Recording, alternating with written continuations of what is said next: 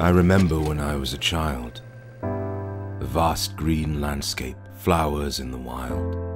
But now it's just constricting concrete, industry around, and just a memory of what used to be a playground.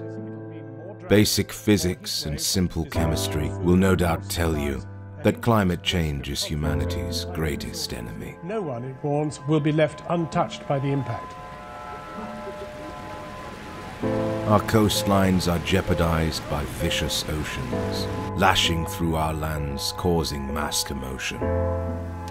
And warlike wildfires spreading through and clubbing trees, an orange-red tinted view.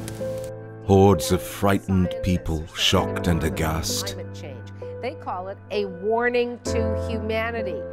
It comes That exactly we are now 25 into an era of man-made climate From blaring, alarming international Panel on Climate Change broadcasts, says It'll mean more droughts, Our Earth is on a one way trip to destruction due to humanity's greenhouse gas production.